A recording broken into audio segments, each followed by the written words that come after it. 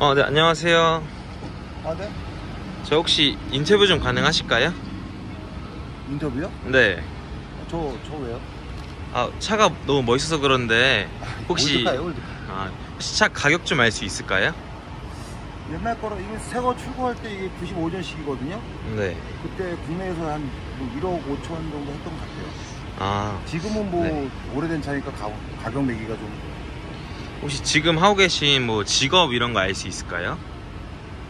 뭐 이것저것 하다가 다 접고 지금은 제가 전기 기술자라 전기 공사 일을 하고 있는데 뭐 요즘에는 엊그제는 영화도 좀 다녔고 액션 잠깐 찍었고요 우연히 또 유튜버 뭐 이렇게 돈을 못 벌리면 유튜버도 하고 있어요 아, 혹시 이 차를 타고 싶어 하는 20대에게 해주실 조언 같은 거 혹시 있으실까요? 20대요 네.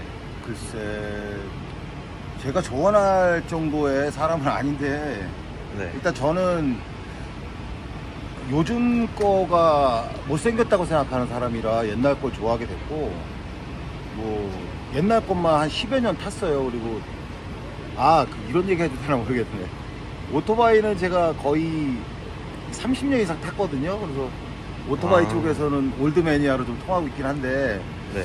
조언이라고까지는 아니고요.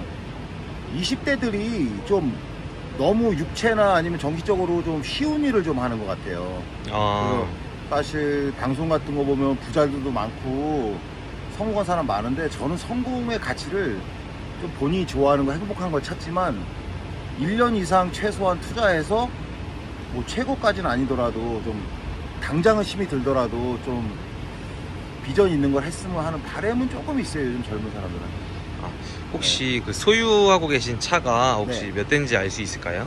어 제가 엊그제까지는 어, 차가 10대 정도 있었어요 아. 비싼 건 없었는데 뭐 여러 가지 문제로 또 오토바이 쪽에 좀 집중하느냐고 지금은 그 대신에 차는 요것만 남고 정리했고요 이게 메인카니까 바이크는 지금 11대 소유하고 있습니다 아, 네. 저 너무 감사합니다. 네 어디 방송 나와요?